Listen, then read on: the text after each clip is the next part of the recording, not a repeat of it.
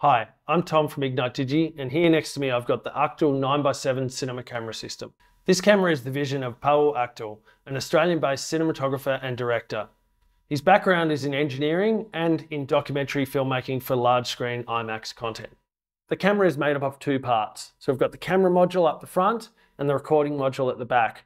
And these are joined by high-speed fiber to enable the high-resolution capture this camera is designed for ultra high resolution capture for giant screen, the MSG sphere, that sort of content.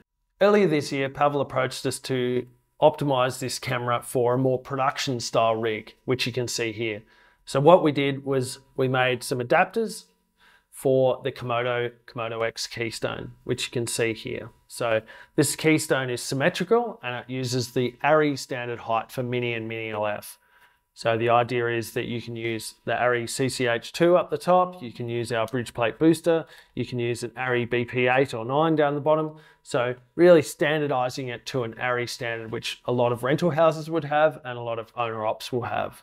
It may seem counterintuitive to build out a small camera module to a big camera cage, but the idea is it gives you space. So it gives you space for things like power breakouts and things like rod mounts if you need them. Up the back here, we've got the rod mount down the side, which enables us to mount the Teradek and the recording module. I'll just give you a quick run through of all the parts that make up this camera system.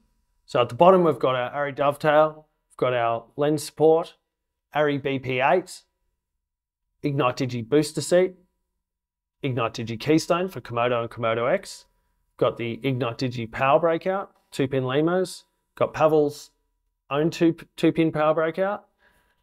And then inside here, we've got the 9x7 camera module. Up the top, we've got the ARRI CCH2, the Zacuto Chameleon, Small HD Indie 7. And at the back, I'm just going to spin it around. We've got the 9x7 recording module. We've got a couple of Ignite Digi Cinetope adapters, just modified to allow the quarter inch to go through. Got a Teradek down the side, and then a 105 rod mount here, which allows that setup. You may be wondering where you can get some of these custom looking screws. These are Pawel's own ceramic coated titanium. So reach out to Pawel for some bolts. Okay. And then finally, we've got this wireless controller to help you navigate around the system menus. When rolling, the recording module runs at about 120 watts. That's why the V-lock's on the back here. And then we're splitting out power from a D-tap into the two pin here and then out to the power breakout, which is then feeding the Zacuto, the monitor, the Teradek, and the camera module. The Achtel team have worked on this camera for the last three to four years and are continuing to do so in firmware and hardware upgrades. So if you're interested in this camera for your next giant screen or LED volume capture, then please reach out to Pawel on the link below. If you have any rigging questions about the camera, then feel free to reach out to me, tom at ignitedigi.com.au. Thank you.